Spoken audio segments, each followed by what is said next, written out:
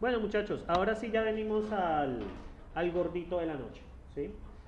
Entonces, eh, si hay una matriz A que es cuadrada, ¿cierto? Es uno de los requisitos. Y el segundo es que el determinante sea distinto que cero, porque si el determinante es cero tampoco tiene inversa. Aquí falta decir, el determinante de A debe ser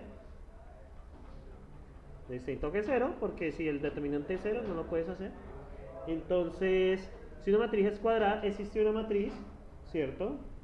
Que es conocida como la inversa, para la cual se cumple que usted puede multiplicar A por su inversa en cualquier orden, le da la matriz identidad. La matriz identidad es una señorita que tiene unos en su diagonal y ceros a los lados y funciona como un 1 algebraico.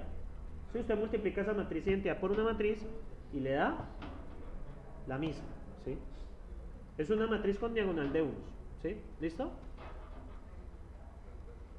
Resulta que la inversa, pues, eso es un proceso, ¿sí?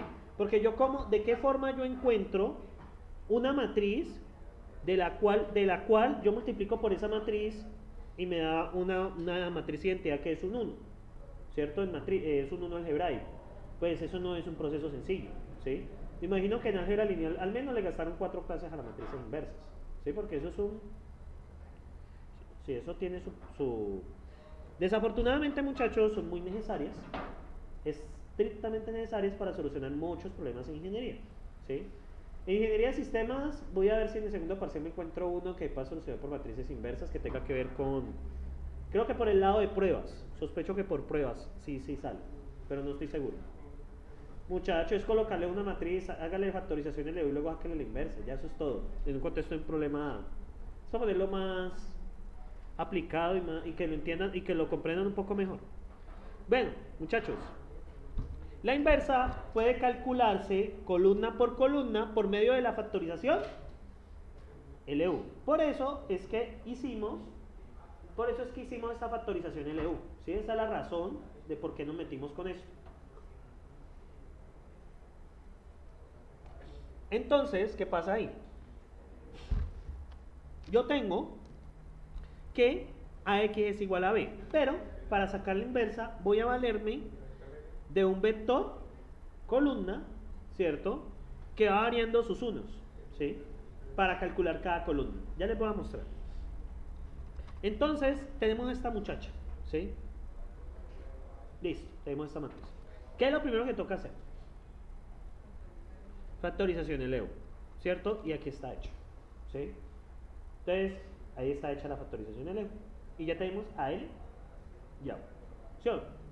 Ahora, ¿qué vamos a hacer? Vamos a coger, miren que esta es, esta es L, ¿cierto? Recuerden que L por D es igual a quién? A B. Entonces, a partir de este punto, muchachos, vamos allá. Los Ds. Pero, ¿qué va a pasar? Vamos a hacer este proceso iterativamente, ¿sí? Entonces, empezamos con el vector 1, 0, 0 como B. Eso nos va a calcular la primera columna de la inversa. Entonces tenemos L por D igual a B. Entonces de aquí, ¿quién hallamos? Aquí tenemos a AD.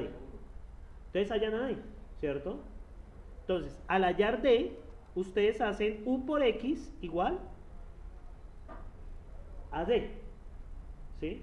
U por X igual a D. U, que este es U, miren. Por X es igual a D. Y aquí hayan los X. Y estos X que hayan son la primera columna de la matriz inversa. Si alguien me puede describir el proceso cómo es. De nuevo, a ver si, si estamos claros. Primero se hace la factorización LU, ¿cierto? Hay dos ecuaciones importantes. L por D igual a B y UX igual a D. Ahora, ¿qué pasa? Para hallar la inversa, vamos a cambiar el vector B por un vector de unos, de un 1 seguido de ceros. Va variando. A la primera columna primero es 1, en la segunda columna el segundo es 1 y así sucesivamente. Entonces, aquí hallamos con ese vector que ustedes ven aquí, hallamos a quién? A D. Bueno, de 1, tiene razón. D de la primera columna. Ahora bien, luego hacemos UX igual a D. ¿Y qué pasa? El X que hallamos es la primera columna de la inversa. ¿Preguntas? ¿Alguien me puede describir el proceso que se escuche en el audio? ¿Cómo es? ¿Alguien? Correcto, LU, primero. Luego, eh, esa matriz eh, pues se hace con LD igual a B, donde B para la primera columna sería 1, 0, 0, para la segunda columna sería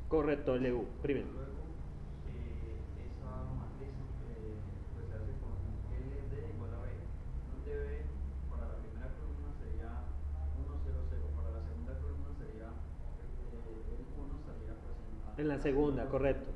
Bueno, entonces se halla B con esa ecuación. No, D. Es se halla D con esa ecuación. Luego con esa D hacemos OX igual a D para hallar los X. Y esos X son los, la primera columna de La columna décima, puede decirlo así. O sea, la columna que corresponde. ¿Sí? Correcto. Miren que acá repiten el mismo proceso con,